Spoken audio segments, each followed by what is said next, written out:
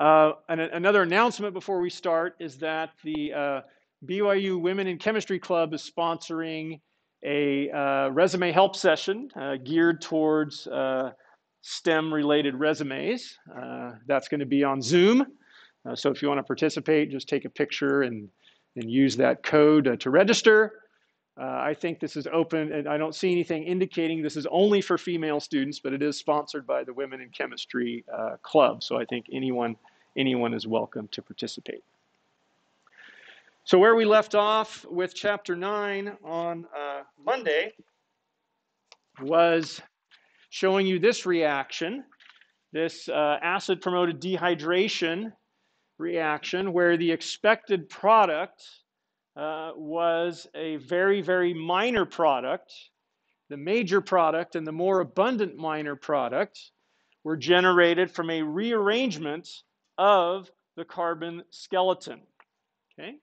Uh, and so what we learned from this reaction uh, was that uh, carbocations are able to rearrange to give more stable carbocations by shifting a group from one of the beta carbons or one of the adjacent carbons to the positively charged uh, carbon. So let's draw a mechanism for this process and see how this happens. So the first step is going to be the same as a any other dehydration. We're going to protonate the oxygen using our uh, sulfuric acid.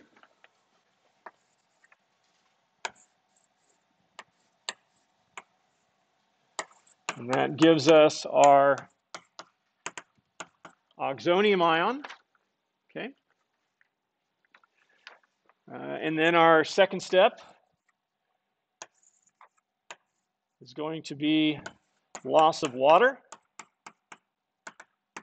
We know that's going to be a slow step uh, because we're forming a uh, carbocation uh, in this process.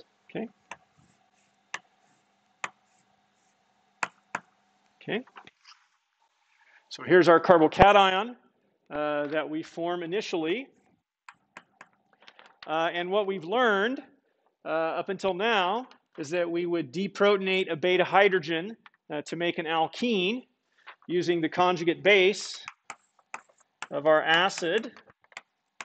Uh, and remember, we use sulfuric acid or toluene sulfonic acid because those are um, non-nucleophilic. They're resonance stabilized, so they're not nucleophiles, uh, but they're a strong enough base. So that's what we would have expected to happen based on what we learned previously. And I'm just going to show that with uh, dashed arrows. Uh, and that's usually a fast reaction. Okay. And that would give us this particular alkene. Uh, but in this case, something even faster occurs in preference. That, that happens to a small degree, as uh, evidenced by the fact we get 3% of that product.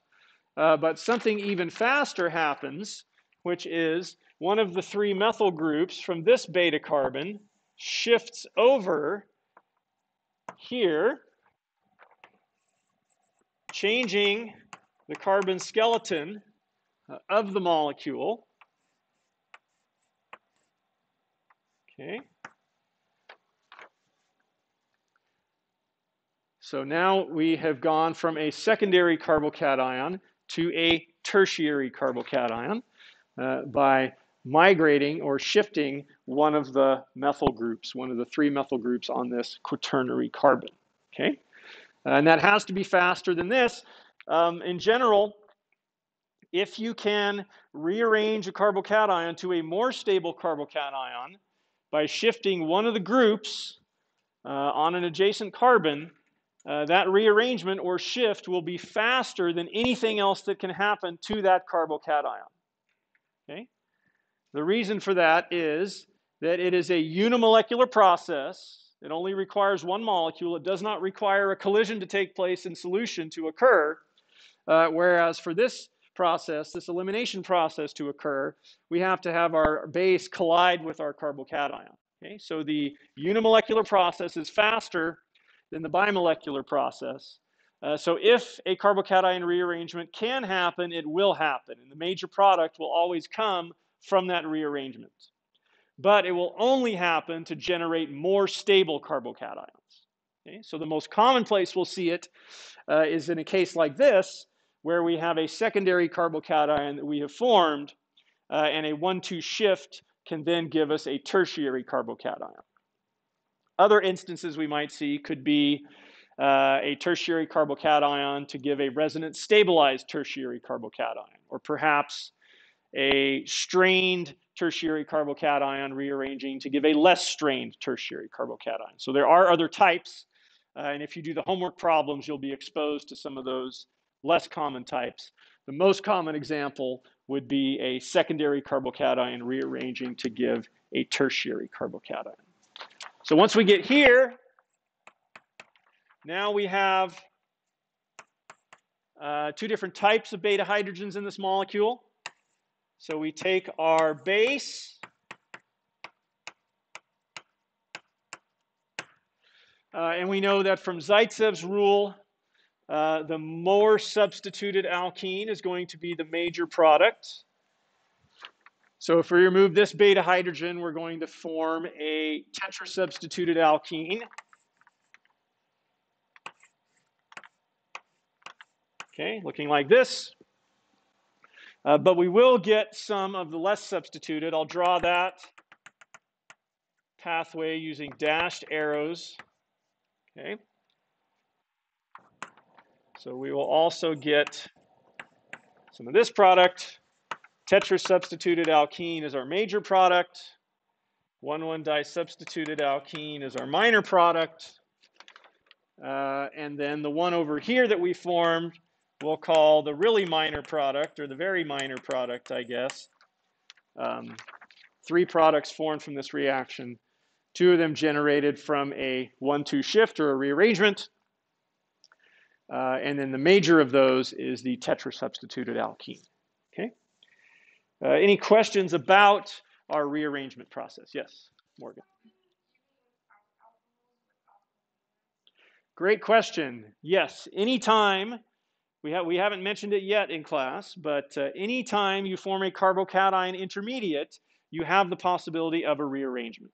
So so indeed, any of our E1 or SN1 reactions involving alkyl halides, the examples we chose for you were, were, were specially chosen so they wouldn't involve rearrangements.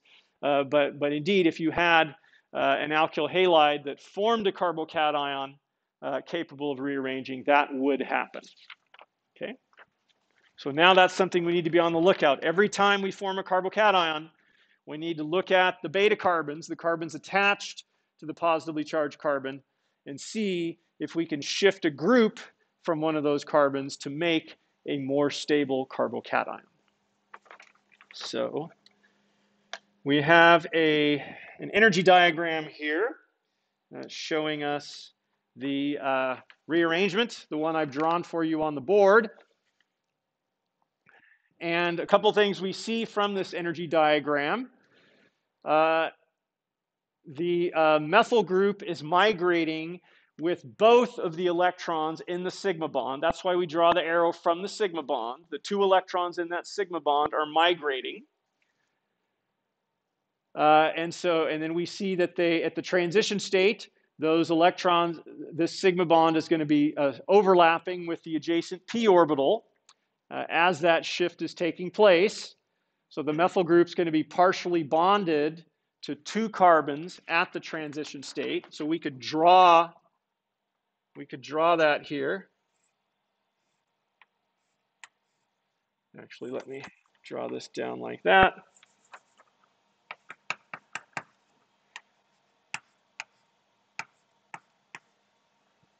So this is what our transition state would look like for this migration. Uh, partial sigma bonds between the methyl group uh, and these two adjacent carbons, partial positive charges. Uh, this partial positive charge is decreasing at the transition state. or sorry, this partial positive charge is decreasing, this partial positive charge is increasing at the transition state. Another thing we notice when we look at this uh, transition state is we have hybridization and geometry changing at each of our carbons that are participating. So the, the carbon from which the uh, methyl group is migrating, that's changing from sp3 to sp2, so that carbon is flattening out. It's somewhere between tetrahedral and planar at the transition state. Uh, this carbon is changing from sp2 to sp3, so that carbon is becoming pyramidalized, becoming more like a tetrahedron uh, at the transition state. Okay, so but they're both somewhere in between sp2 and sp3 at the transition state. And then finally, the other thing we notice from this uh, diagram is that carbocation rearrangements are always exothermic. They're only going to happen if we go from a less stable carbocation to a more stable carbocation. So the ones that occur will always be exothermic. We would never see an endothermic carbocation rearrangement. Okay? Any questions? So the example we've shown you is an alkyl shift, or more specifically, a methyl shift. We have a methyl group migrating. It's common to have methyl groups or other alkyl groups participate in these migrations or, or rearrangements, uh, but it doesn't have to be an alkyl group. Uh, we could also have a hydrogen undergo a shift as part of a rearrangement. And that's referred to as a 1-2 hydride shift. Question? Um, not necessarily. It's just whichever one would give you the more stable carbocation will occur. Okay? Uh, and as I draw the hydride shift, you'll see that when you have a choice, usually the hydride shift is the one that can occur. But in many cases, you don't, you don't have a choice. If you look at the example we did here, all of the groups on the carbon where the migration occurred from were alkyl groups. So it was, it was a, uh, an alkyl shift. So let's draw a different alcohol. I barely gave myself enough room to draw it. Uh, so let's react this secondary alcohol with sulfuric acid. We're going to protonate.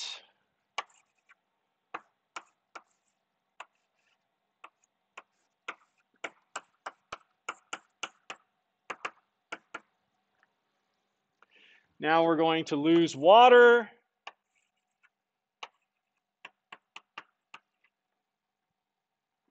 Whoops, I uh, didn't draw that properly.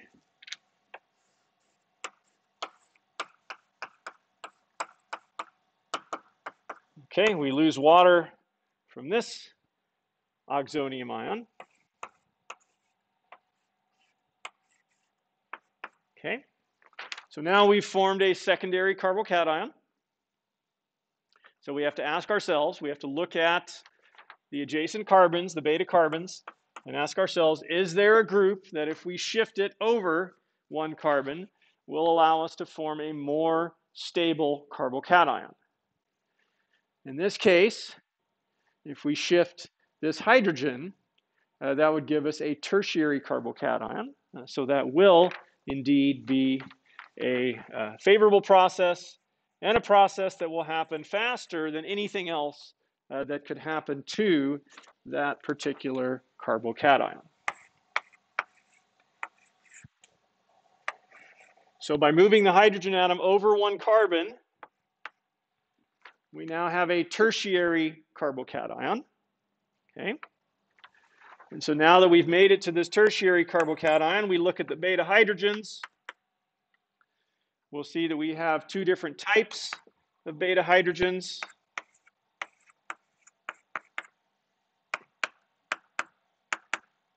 Okay. So we could deprotonate this beta hydrogen we could deprotonate this beta hydrogen. So that would give us two different alkenes.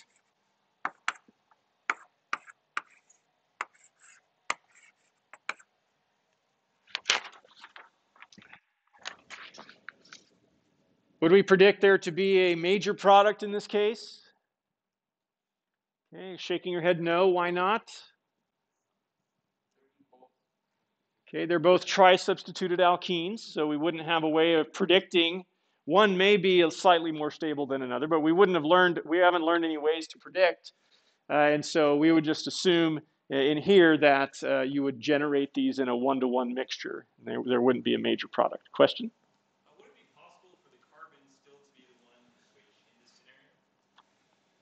So you're talking about having the ring migrate.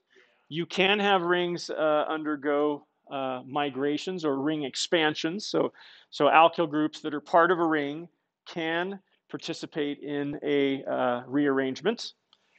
Um, usually that happens when you have a smaller ring that is relieving ring strain in the process, going from three to four or four to five. That's where you typically see it. Uh, in the homework, I believe there's at least one example of something like that. So if you do the homework problems, you'll see uh, an example of that. Uh, we wouldn't see it in this particular case, though, uh, because there's no strain in our six-membered ring, uh, and we would only go from a secondary to a secondary if we tried to do that. So in this case, migrating the hydrogen to go from a secondary to a tertiary is better than that. Okay, so usually you'll be able to figure out which group would undergo the migration because there will be a clear winner in terms of which uh, possible carbocation would be the most stable. So in terms of the products we get, um, no difference, uh, no real difference in the energy. Uh, you'll notice that the one on the left could also be formed directly, sorry, directly from our carbocation. You can get this product either from the original carbocation or the rearranged carbocation. Okay? Uh, but the fact that this one comes along with it is evidence that the rearrangement does in fact occur. Okay? We get both of these products from this reaction telling us that this rearrangement does happen. Question? That's a good question.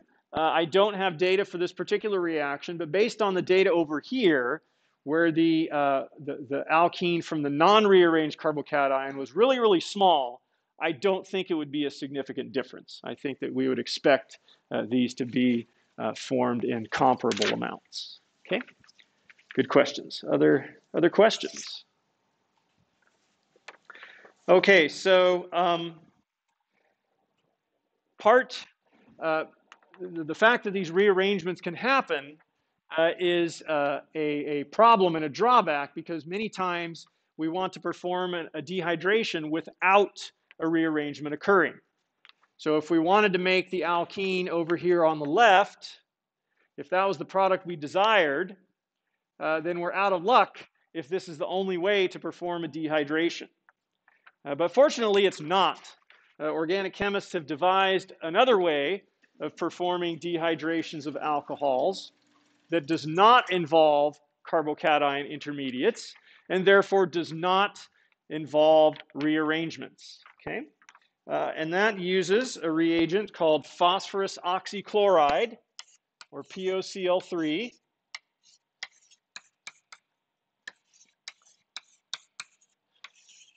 Uh, and then that's used in conjunction with pyridine. This is pyridine. Pyridine is a weak base. It can also be used as the solvent and frequently is used as the solvent in these reactions. Uh, the book doesn't mention that we use two equivalents of pyridine in this reaction. Uh, it's often, as I mentioned, used as the solvent, so it's kind of understood it's in excess. But when we draw the mechanism, you'll see that we're using two equivalents of the pyridine uh, in this particular uh, dehydration. So we're going to generate an alkene in this process, the same as we would uh, if we were to use uh, sulfuric acid or toluene sulfonic acid, but the mechanism is going to be different. It's not going to involve carbocation intermediates. So let's go ahead and draw that mechanism. So phosphorus oxychloride looks like this. It has five bonds to the phosphorus. That's fine because phosphorus is a third row element. It's allowed to exceed the octet.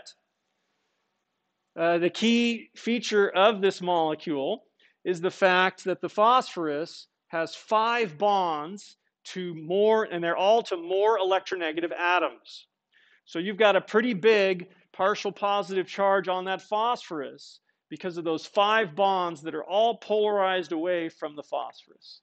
So this is highly electrophilic on the phosphorus atom. Electrophilic enough that a weak nucleophile, such as an alcohol, is able to attack that phosphorus in an SN2 type of process. Okay, That's going to displace chloride as a leaving group. And then that's going to give us, I'm not going to draw out the uh, POCl2 species, but it has a double bond to the oxygen and single bonds to the chlorines, just like I drew it over here. Okay. Uh, and we have an oxonium ion, positively charged oxygen. So now our pyridine, our first equivalent of pyridine, is going to make an appearance. This is a weak base, but strong enough to deprotonate the positively charged oxygen. That's going to give us a pyridinium ion as a byproduct. Okay, this cation, that's just forming a salt with the chloride that was generated uh, in the previous step. Okay.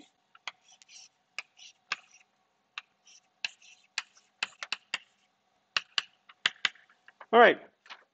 So now what we have is something that is an outstanding leaving group.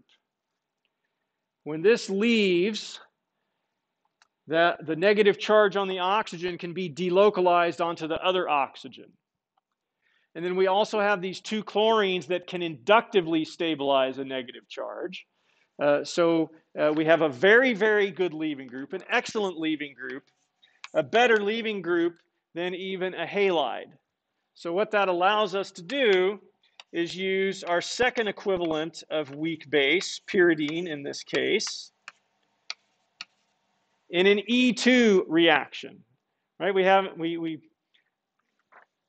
the first time we saw a weak base in an E2 reaction was on Monday. It's it's less common, uh, but here because we have such an outstanding leaving group, this works. Our pyridine comes in, deprotonates a beta hydrogen, we lose our leaving group, and that gives us our alkene. That gives us, I'll go ahead and draw it out here.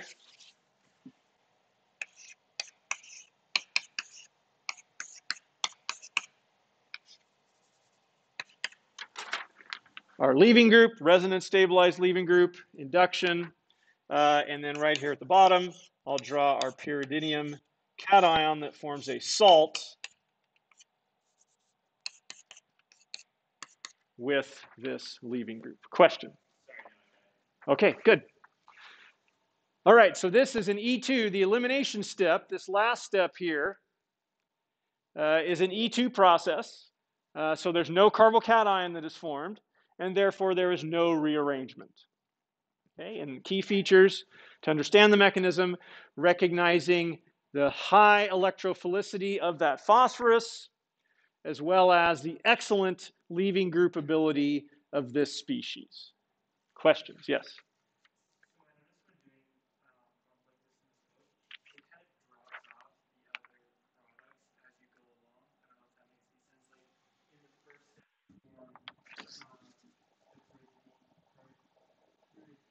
Pyridinium, is that what we're talking about?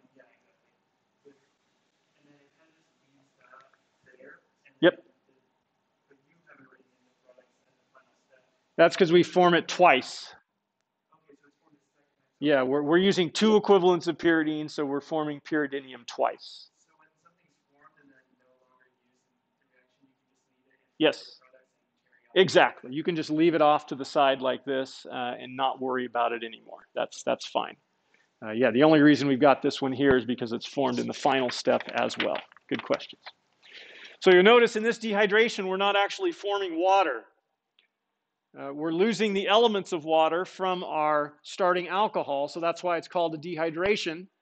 Uh, but you see that the oxygen ends up going with the phosphorus, uh, and the two hydrogens that we're losing each end up going with uh, the pyridine. Okay, so we're not actually forming water, uh, but we would still call this a dehydration because we're losing the elements of water from our starting alcohol. So the book gives us, yeah, question, Morgan.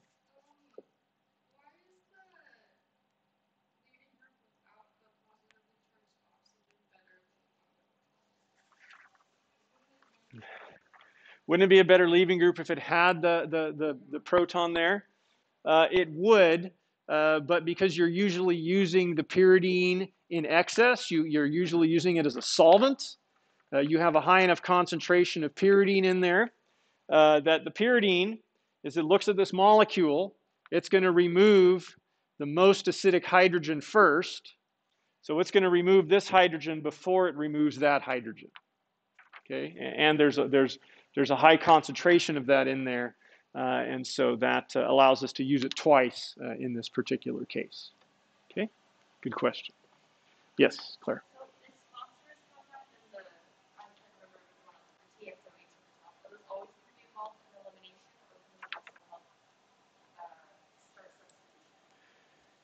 That's a good question. So toluene sulfonic acid will always be used in eliminations because the conjugate base is not a nucleophile. It's that resonance stabilized base that won't be a nucleophile. Uh, we'll learn at the end of class today a substitution reaction involving a similar reagent, a, a related reagent called thionyl-chloride, SOCl2. Uh, there is some crossover. You can see POCl3 in substitutions. Uh, you can also see SOCl2, which we'll learn at the end of class, in uh, eliminations. Uh, but it's more common for them to be used in the way we're teaching them in class. So if you just want to uh, learn it the way we're teaching it in class, where every time we see POCl3, it'll be an elimination, a dehydration. Every time we see SOCl2, it'll be a substitution. So in the real world, it's not quite that simple, uh, but we're willing to, to kind of simplify things to make it a little easier uh, for you to learn. Okay? So a couple examples the book shows us. Uh, this tertiary alcohol was dehydrated to, uh, to generate a precursor to vitamin A. Uh, here they were formed, they formed a tertiary carbocation. They actually formed a resonance stabilized tertiary carbocation, so there was no fear of rearrangement. So the uh, toluene sulfonic acid worked great for that reaction. Uh, and then down here, uh, they used the POCl3 and pyridine. This is a fairly complex molecule. even though it's a tertiary, uh, would be a tertiary carbocation. It's relatively strained, and so there might be the possibilities of rearrangement. Phosphorus oxychloride and pyridine gave the desired product, which could be converted into this particular natural product. All right, so um, we've said that toluene sulfonic acid and sulfuric acid, when they react with alcohols, will cause dehydration to occur. And we've said that you have to use those acids. So, what would happen if you reacted an alcohol with one of our HX acids instead? What if we used HBr or HI or HCl? What would happen instead of dehydration? Any ideas? Yes.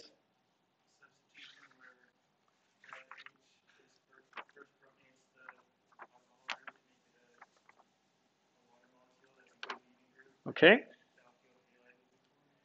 Yeah, we would see a substitution process because with HX, our conjugate bases are strong nucleophiles. And so those, those conjugate bases of those HX acids will want to function as a nucleophile.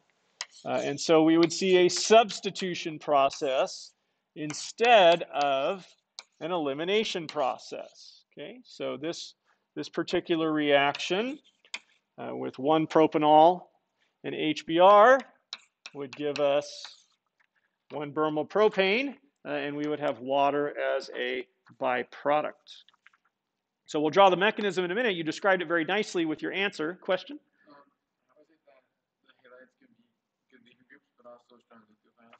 uh, because they're negatively charged. Uh, most negatively charged species are strong nucleophiles. Right? In chapter 7, we just said all negatively charged species are strong nucleophiles. Now we're learning a few that aren't, uh, but usually they're highly resonance stabilized. So unless it's highly resonance stabilized, if it has a negative charge, uh, or unless it's really bulky, those are the two things that could prevent something from that's negatively charged from being a good nucleophile. So if it's not highly resonance stabilized, not bulky, then it's going to be a strong nucleophile if it's negatively charged. So uh, a little bit of data, uh, relative rates. Primary alcohols will react slower than secondary alcohols which in turn react slower than tertiary alcohols. So this is comparable to the dehydration, where the more substituted alcohols react faster. So let's go ahead and draw a mechanism. And similar to the dehydration, the acid promoted dehydration, the mechanism depends on the type of alkyl halide that we have. If it's a secondary or tertiary alkyl halide, or sorry, alcohol, not alkyl halide, we're making alkyl halides, a secondary or tertiary alcohol will react via an SN1 mechanism with a carbocation intermediate. Okay? So our first step should be familiar. We're going to protonate the OH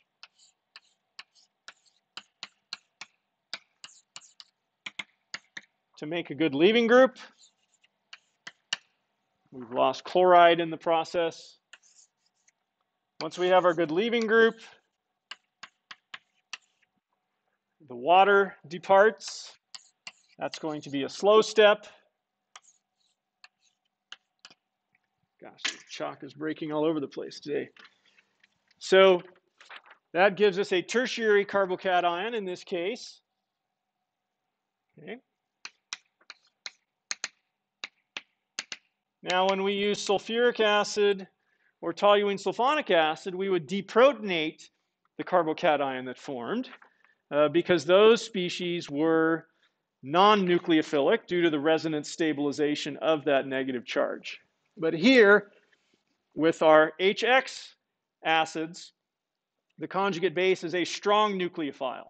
So because it is a weak base and a strong nucleophile, uh, it reacts faster as a nucleophile than as a base. So when it encounters a carbocation, it's going to attack that carbocation and it's going to give us the alkyl halide product. Okay? So that's what happens when we have a secondary or tertiary alcohol. We have an energy diagram for this reaction over here. Uh, and it shows us uh, three transition states. So that tells us that there are three steps uh, to the reaction. You can see that uh, indeed the carbocation formation is our rate determining step. Okay.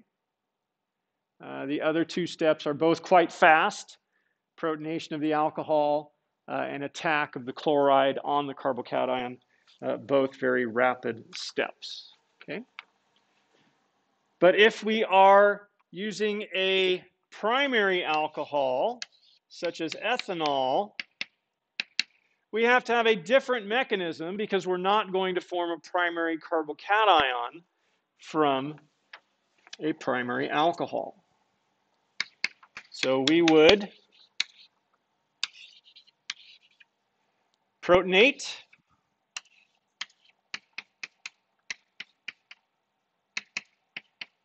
Okay, getting our oxonium ion. Uh, but instead of losing a carbocation, in this case, we have an SN2 process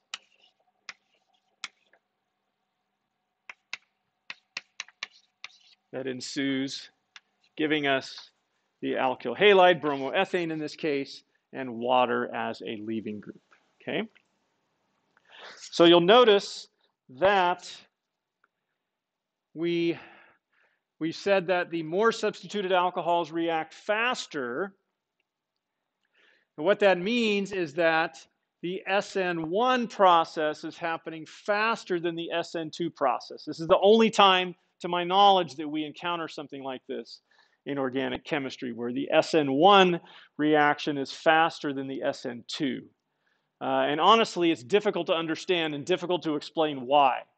Okay, I don't have a, real great explanation as for why uh, it happens faster uh, with the more substituted alcohols. The best that I can do is to note that the leaving group in this case is water, which is a good leaving group, but it is the worst of our good leaving groups. All the other good leaving groups we've learned are better leaving groups than water. The halides are better than water.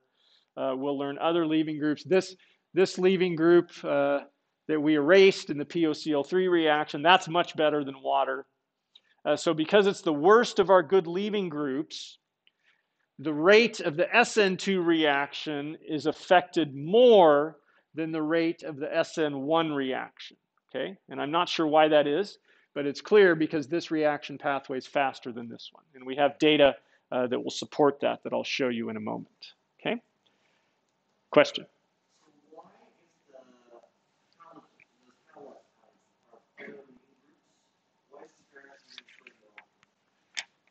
Why does it proceed if we're if we're producing a better leaving group? Yes.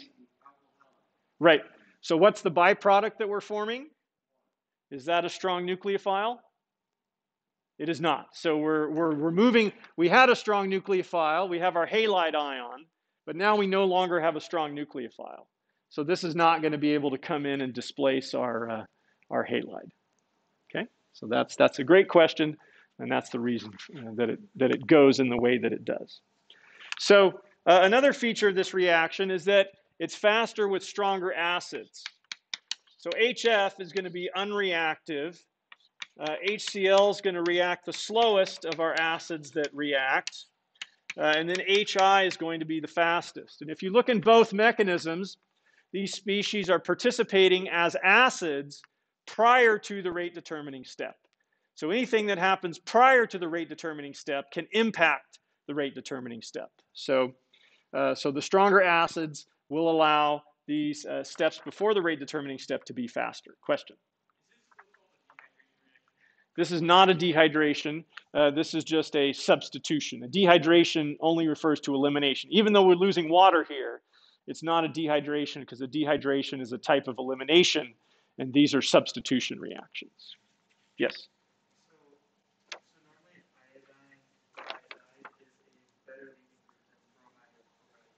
Yes.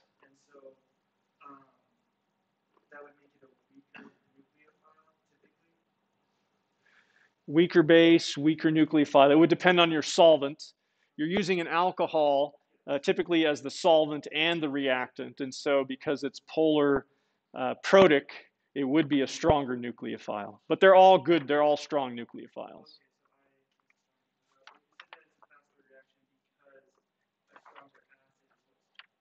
Yeah, because they're functioning as acids prior to the rate determining step. That's the easiest way, the easiest way to, to look at it. So one consequence of this is that when we combine our slowest reacting alcohol, a primary alcohol, with our slowest reacting acid, HCl, the reaction does not proceed on its own. We actually have to add a Lewis acid, and zinc chloride is a commonly added Lewis acid, in order to get the substitution of a primary alcohol and HCl to occur. So what we generate is this species here, which is called a Lewis acid Lewis base complex, where we, we have a positively charged oxygen, very similar to what we have when we protonate, uh, but this is actually an even better leaving group uh, than what would happen uh, if we lost water. And so once we form this, uh, then our halide, chloride can come in in the SN2 fashion. And we're going to generate chloroethane. And then we're going to get this uh, zinc species uh, as our leaving group. Okay, so the slowest reacting alcohol, the slowest reacting acid, they're going to need uh, a Lewis acid in order to react. Okay, let's talk about stereochemistry of these substitution reactions. When we react a primary alcohol with an alkyl halide, would we expect inversion of stereochemistry or racemization of stereochemistry?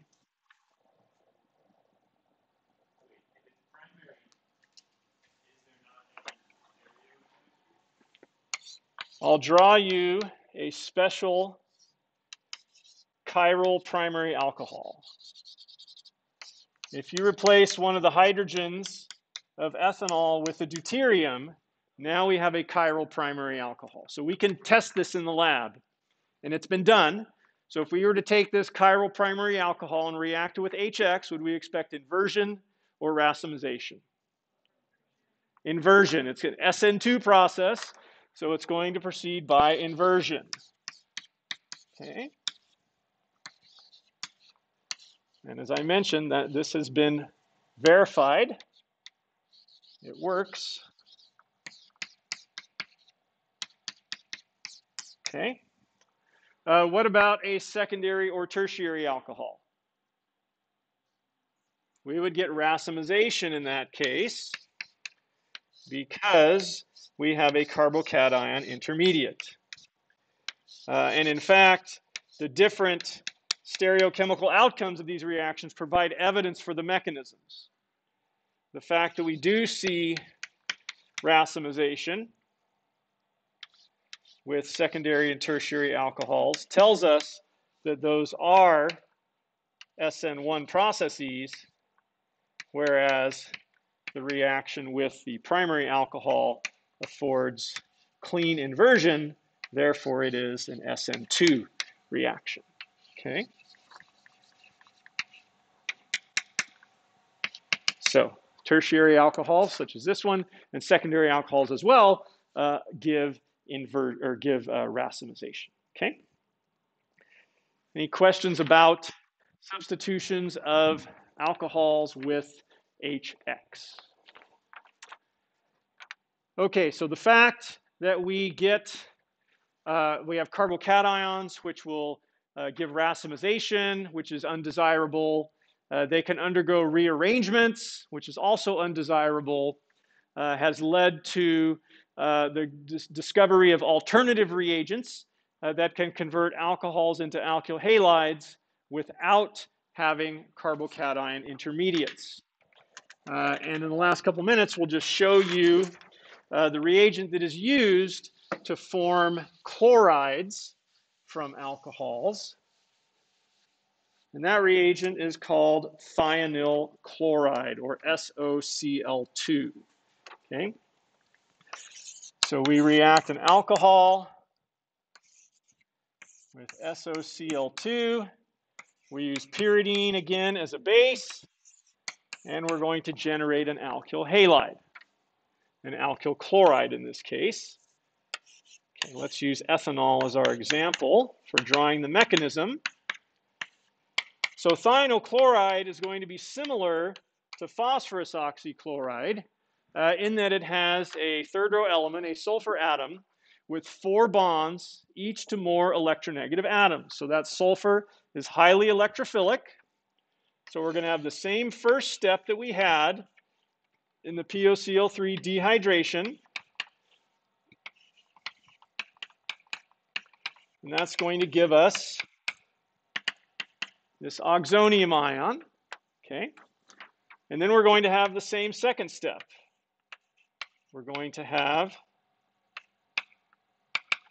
pyridine deprotonate that oxygen.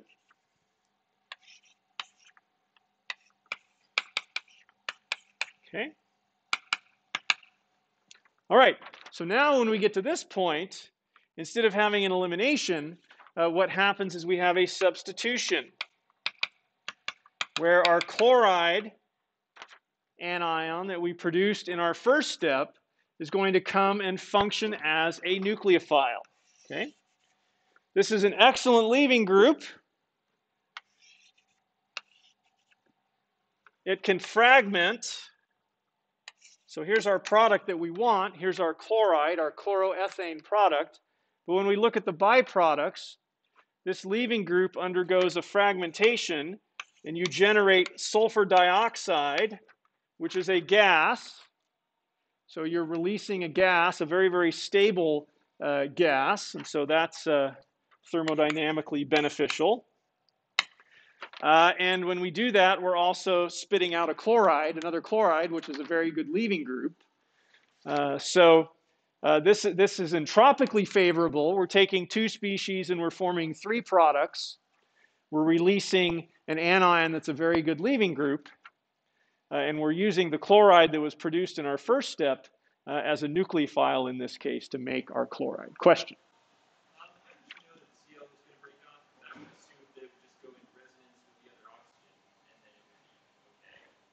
Well, it, we, we know it because when, when people run the reaction, you can detect this. This smells really bad. So, uh, so it's very obvious uh, when SO2 is produced. Uh, and so because you know that's what's going to happen, you know, uh, and you would have an idea that it would happen because you know that this is a very stable molecule. And so it's very likely uh, to happen as well. So uh, we didn't use a chiral uh, alcohol in this case, but as far as stereochemistry goes, what, what do you think would happen in this particular substitution? Would it be uh, inversion or would it be racemization?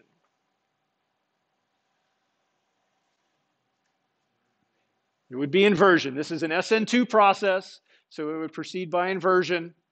Uh, and so because of that, because it's an SN2 process, this only works with primary and secondary alcohols. You, you wouldn't see this with tertiary alcohols. Okay, any other questions?